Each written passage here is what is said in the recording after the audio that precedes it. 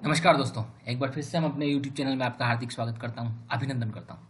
देखिए, आज कोई स्टॉक ऑफ़ द डे नहीं है, कोई स्टॉक ऑफ़ द वीक नहीं है। आज मैं आपको लेके चलता हूँ, कुछ आपको बताने का कोशिश करता हूँ कि हम लोग अपना जो डेटा ट्रेडिंग व्यू में डालते हैं तो वो किस तरीके से अपन डालते हैं। हम लोग कुछ उस पर चर्चा करेंगे, लेकिन उससे पहले एक डिस्क्लेमर दे देता हूँ कि अभी तक आप मेरे चैनल पर नए हो और अभी तक आपने मेरे चैनल को सब्सक्राइब नहीं किया है तो जल्द से जल्द मेरा यूट्यूब चैनल सब्सक्राइब करिए, अपने दोस्तों के साथ शेयर करिए और लाइक करिए। आपका ज़्यादा से ज़्यादा हमें प्यार मिलेगा और हाँ बेल आइकन पे ज़रूर आपको बटन दबाना है, ताकि आपको आने वाले जितने भी मेरे वीडियोस के नोटिफिकेशन है, वो आप तक पहुँच सकें। ज़्यादा टाइम ख़राब नहीं करते हुए चलिए मैं स्टार्ट करता हूँ और आपको दिखाता हूँ किस तरीके से मैं अपना डेटा ट्रेडिंग व्यू में सेट करता हूँ। तो ये देखिए सबसे पहले हमारा स्क्रीनर है और उस स्क्रीनर में मेरे साथ मेरे पास काफ़ी सारे स्टॉक्स आए हुए हैं आज। ये मेरा डेली का स्क्रीनर है मतलब रोज इस रोज रोज इस वाले स्क्रीनर को मैं चलाता हूँ। और जितने भी मेरे जो ट्वेंटी परसेंट के सर्किट लगा रहे हैं स्टॉक नियर ट्वेंटी परसेंट पे आ रहे हैं नियर टेन परसेंट पे आ रहे हैं वो मेरे को ऑटोमेटिक यहाँ पे फ़िल्टर होकर स्टॉक आ जाते हैं। अब ये जो डेटा है ये जो डेटा है वो एक, अगर एक एक करके मैं चेक करूँगा इसको तो मेरे को काफ़ी टाइम लगेगा इसमें। हो सकता है अब दिखाता हूँ मैं आपको कितने स्टॉक हैं। आज 84 स्टॉक है। तो 84 स्टॉक डालने के लिए मेरे को 84 टाइम ही ट्रेडिंग व्यू पे जाना पड़ेगा। तो हो सकता है कि मेरे पास टाइम कम हो और मैं, या आपके पास टाइम कम हो, आप नहीं जा पाओ। तो उसका एक शॉर्टकट तरीका है कि ये सारा का सारा डेटा आप ट्रेडिंग व्यू में डाल लीजिए तो वो आपके लिए ईजी टू यूज़ हो जाएगा। अब वो डालेंगे कैसे? स्क्रीनर तो बनाया हुआ है, उसमें तो कहीं कोई दिक्कत नहीं है। लेकिन अब इस स्क्रीनर को डालेंगे कैसे? इसके दो तरीके मेरे पास हैं। पहला तो इसको कॉपी करिए और एक्सेल में डाल लीजिए।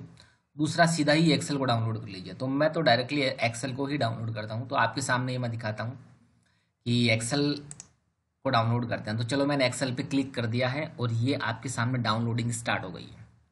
तो मेरी जो एक्सेल फ़ाइल है वो डाउनलोड हो चुकी है। इसको मैं डबल क्लिक करके ओपन कर लेता हूँ।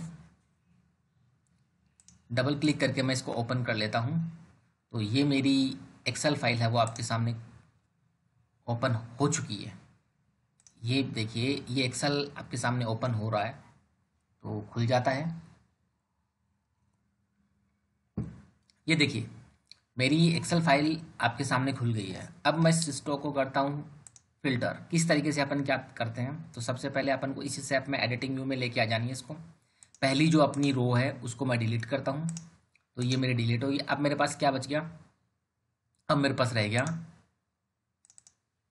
अब मेरे पास रह गया serial number stock name symbol links और उसके बाद कितना परसेंट चेंजेज है, उसके बाद प्राइस उसके बाद वॉल्यूम है। तो ये मेरा मतलब क्राइटेरिया था, ये मेरे पास रह गया।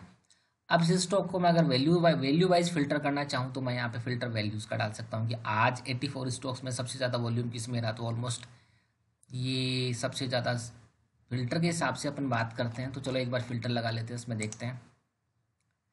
ये मैंने फ़िल्टर डाल दिया यहाँ पे। और वैल्यू के हिसाब से मैं बात करता हूँ तो लार्जेस्ट टू स्मॉलेस्ट करता हूँ। तो सबसे ज़्यादा आज मैंने जो स्टॉक मेरे जो फ़िल्टर में एटेड फोर स्टॉक है, उनमें से सबसे ज़्यादा वॉल्यूम किसमें है? जोमेटो के अंदर है। सबसे ज़्यादा। उसके बाद टाटा स्टील में, उसके बाद पंजाब नेशनल बैंक में। तो ये भी आप वन बाय वन चेक करके इसमें देख सकते हो। अगर आप प्राइस में देख, देखना चाह रहे हो तो प्राइस में लार्जेस्ट टू स्मॉलेस्ट करिए तो वही सेम जो एज हमारी लिस्ट थी, वो सेम सेम टू सेम हमारे सामने आ चुकी। अब हम इस फ़िल्टर को करते हैं। बंद तो ये मैंने फ़िल्टर को बंद कर दिया। अब हम लोग ये डेटा है, वो ट्रेडिंग व्यू में कैसे डालेंगे? तो देखिए, कुछ नहीं करना आपको। ये वाला सी कॉलम है, इस सी कॉलम के पास एक नया कॉलम आप इंसर्ट कर दीजिए। तो डी पे मैंने राइट क्लिक किया, मेरे को ऑप्शन मिला इंसर्ट का तो मैंने इंसर्ट पे क्लिक कर दिया। यहाँ पे इंसर्ट पे क्लिक करने के बाद ये जो अपना डी वाला बॉक्स आ गया फ़र्स्ट इसको बोलते हैं सेल ये वाला आ गया तो मैं इसको बड़ा जूम करता हूँ आपके सामने। यहाँ पे करना क्या है? यहाँ पे कर लीजिए, यहाँ पे कर लीजिए। चलो मैं फ़र्स्ट रो डिलीट कर देता हूँ। डी वन इसका नाम है डी वन तो डी वन में मैं क्या करूँगा? तो सबसे पहले मैं is equal to sign plus लिखूँगा यहाँ पे is equal to sign is equal to लिखने के बाद मैं सीधा चला जाऊँगा। यहाँ पे, यानी कि इस पे मैं सी, यहाँ पे प्रेस करूँगा, देखिए दोबारा दिखाता हूँ। ये हो गया और ये वाला इस पर मैं प्रेस करता हूँ तो प्रेस किया मैंने तो वहाँ पे मेरा जो सेल एड्रेस है, सी वन वो आ चुका। और सेल एड्रेस सी वन आ गया, उसके बाद मैं एंड साइन प्रेस करूँगा। और एंड साइन प्रेस करने के बाद डबल कोटेट लगाइए, डबल कोटेट लगाने के बाद कोमा लगाइए, कोमा लगाने के बाद डबल कोटेट को बंद कर दीजिए। कुछ इस तरीके से मैंने लिखा है। समझ में आया? अगर नहीं आया तो दोबारा बताता हूँ। देखिए, क्या करना है? सबसे पहले इज़ इक्वल टू साइन उसके बाद ये जो अपनी सेल है, इस पर क्लिक करिएगा। उसके बाद एंड बटन उसके बाद डबल कोटेट कोमा दोबारा डबल कोटेट कुछ इस तरीके से आप लिख दीजिए। तो इससे होगा क्या कि ये जो अपन ने कोमा लगाया, ये सी वन के साथ ऐड कर दिया। मतलब सी वन के बाद मैंने कोमा ऐड किया है तो ऐसे तो ट्रेडिंग व्यू में जाएगा नहीं डेटा हर स्टॉक के बाद में अपन को कोमा लगाना पड़ेगा। कितने के स्टॉक में अपन कोमा लगाएँगे? ये तो एक मतलब काफ़ी लंबा प्रोसेस हो गया। तो अपन तो डायरेक्टली इसका एक मेथड के थ्रू एक फॉर्मूले के थ्रू हम लोग यहाँ पे ये फॉर्मूला लगा देते हैं। और उसके बाद, लिखने के बाद मैं इसको प्रेस करता हूँ एंटर तो मैंने ये एंटर प्रेस कर दिया। एंटर प्रेस करने के बाद, दोबारा आप इसी सेल पे जाइए और यहाँ पे ये आपको इस तरीके से प्लस का साइन मिलेगा डबल क्लिक कर दीजिए। तो मेरा सारा डेटा आपके सामने यहाँ पे एज इट इज़ आ गया। सारा डेटा आपके सामने एज इट इज़ आ गया। सबके बाद में क्या है? कोमा का साइन है। तो अब मैं इन, यही सिर्फ़ डेटा है, ये, यही डेटा यानी कि स्टॉक्स का नाम ही तो मेरे को ट्रेडिंग व्यू में डालना है। तो इसी डेटा को मैं क्या करूँगा? कॉपी कर लूँगा तो ये मैंने यहाँ पे कॉपी कर लिया। उसके बाद मैं सीधा गया ट्रेडिंग व्यू पे। ट्रेडिंग व्यू को मैं ओपन करता हूँ। आपके सामने ये मेरी ट्रेडिंग व्यू आ गई। मेरे पास ट्रेडिंग व्यू का पैड वर्जन है। तो यहाँ पे जस्ट ए मिनट। अपन करते हैं इस पे काम कि ये डेटा अपन किस तरीके से डालेंगे यहाँ पे। तो ये देखिए, आपके सामने कुछ इस तरीके का पैटर्न खुल चुका है। ये मेरा एक जो वो लिस्ट बना रखी है मैंने, जो लिस्ट है मेरी उस इंडेक्स की लिस्ट है। कौन सी इंडेक्स में कैसे क्या, कितना परसेंटेज मूवमेंट है, कितना डाउन है, वो सारा दिखा देता है। अब अपन को ज़्यादा कुछ नहीं करना, ये वाला साइन है रेड लिस्ट लिख रखा है यहाँ पे, आप क्लिक करिए और ऊपर सबसे ऊपर ऑप्शन मिलेगा आपको क्रिएट न्यू लिस्ट का। तो क्रिएट न्यू लिस्ट पे आप कोई भी नाम डाल दीजिए तो मैं यहाँ पे डाल देता हूँ डेली स्टॉक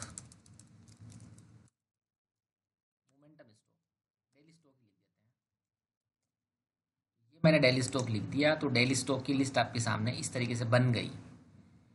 मतलब इस लिस्ट का नाम ही बना है, इसमें अभी तक स्टॉक नहीं आए तो अब क्या करेंगे, ये वाला जो प्लस साइन है, उस पर प्रेस करिएगा तो कुछ इस तरीके का आपको दिखाई देगा।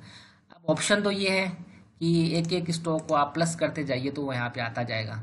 लेकिन अपन को तो ये चाहिए ही नहीं। अपन तो क्या कर रहे हैं, वहाँ से कॉपी करके डेटा को लेके आ रहे हैं, और यहाँ पे ये जो सर्च बॉक्स में, इसमें आपको कर देना पेस्ट तो अपना 84 स्टॉक्स का नेम है, यहाँ पे पेस्ट हो गया, और उसके बाद एंटर प्रेस करिए। तो जो ही आप इसमें एंटर प्रेस करते हो तो मेरा सारा का सारा ये डेटा है, यहाँ पे ट्रेडिंग व्यू में आ जाएगा। अब इसको शॉर्ट कर लीजिए। तो मैंने यहाँ पे डबल क्लिक करके चेंज पे डबल क्लिक करके शॉर्ट कर लिया। अब मैं देखता हूँ कि शॉर्ट करने के बाद किस तरीके से अपना स्टॉक्स में चेक करता हूँ। तो देखिए, यहाँ पे अब उसको क्लिक कर दीजिए। अब स्टॉक्स पूरी स्क्रीन पे लेके आ जाइए। देखिए, यहाँ पे आपको ऑयल कंट्री का चार्ट मिला हुआ है, जिसमें आपको दिखाई दे रहा है कि डेली ब्रेकआउट है कंफर्म नहीं है। और यू सी एल स्टॉक हम लोग काम नहीं करेंगे। तो अपन ने अपना डेटा है, वो उसमें ट्रेडिंग में इम्पोर्ट कर लिया। उसके बाद ये देखिए, मैं दूसरा बट दबाता हूँ तो ये टी बी जेड का चार्ट खुल गया मेरे सामने। उसके बाद डाउन एरो प्रेस करता हूँ तो ये मेरा तीसरा चार्ट खुल गया, जो कि मेरा सिर का पेंट है। और ये भी काफ़ी अच्छी मोमेंट दे सकता है। तीसरा स्टॉक है तो इस तरीके से मैं वन बाय वन करके यानी कि ओनली फोर ओनली फोर पाँच या दस मिनट में मैं एटी फोर चार्ट को अपना देख लेता हूँ। इतना ज़्यादा टाइम नहीं लगता, काफ़ी कम टाइम लगता। मतलब पाँच मिनट में अपन करीब करीब एटी फोर चार्ट को अपन देख लेते हैं। अब ये देखिए लाइंस देखिए मतलब हर एक स्टॉक पे कहीं ना कहीं मेरी लाइंस ड्रॉ हुई है और हर एक स्टॉक को मैंने कहीं ना कहीं उसमें मतलब वो ये लाइंस की उनमें अपना एनालिसिस किया है। हर एक स्टॉक में मैंने कहीं ना कहीं एनालिसिस किया है। तो इस इस तरीके से आपके सामने स्टॉक्स में ऑटोमेटिक लाइंस आ रही हैं। और ये देखिए, इस तरीके से मैं कुछ नहीं कर रहा डाउन एरो बटन दबा रहा हूँ और बार बार दबा रहा हूँ तो मेरे पास नए नए स्टॉक्स आ रहे हैं, जो कि हमारी लिस्ट के अंदर हैं। तो दोस्तों, इस तरीके से आप अपना डेटा ट्रेडिंग व्यू में डाउनलोड कर सकते हो इंसर्ट कर सकते हो, ताकि आपका टाइम बचे, ज़्यादा टाइम वेस्ट ना हो। तो ये था मेरा आज का वीडियो अच्छा लगे तो लाइक करना शेयर करना सब्सक्राइब करना। Thank you thank you have nice day